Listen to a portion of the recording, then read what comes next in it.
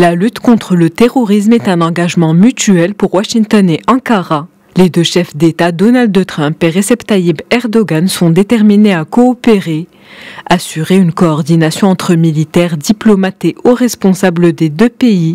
Tel est leur engagement. Et cela pour éviter le vide du pouvoir dans la région kurde en Syrie, qui pourrait résulter d'une exploitation du retrait des 2000 soldats américains, annoncé par Donald Trump la semaine passée.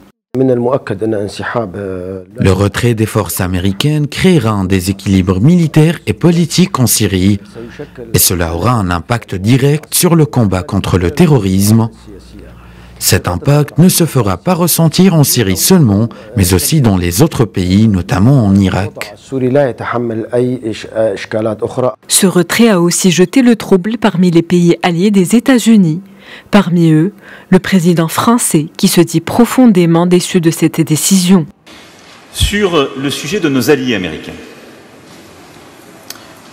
je regrette très profondément la décision prise en Syrie et je veux ici rendre hommage au général Matisse et aux propos qui ont accompagné cette décision.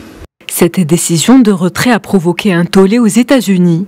Fortement opposé à cette décision, le ministre de Défense Jim Mattis et l'émissaire américain pour la coalition internationale antiterroriste Brett McGurt ont démissionné. Pour remplacer Jim Mattis, Donald Trump a nommé dimanche Patrick Shanahan, l'actuel ministre adjoint de la Défense.